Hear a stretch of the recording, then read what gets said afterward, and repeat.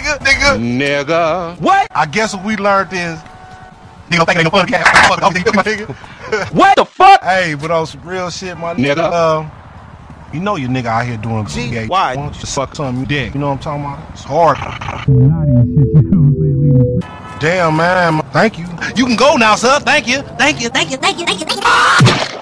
Give a nigga just enough money to get him a little 45 with cheese and all lots. Oh. dog. Number one. Uh, number two.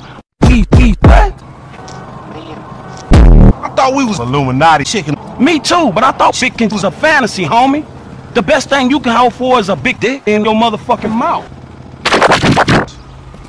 What? Man, what about the best fucking cheese you have? What about that?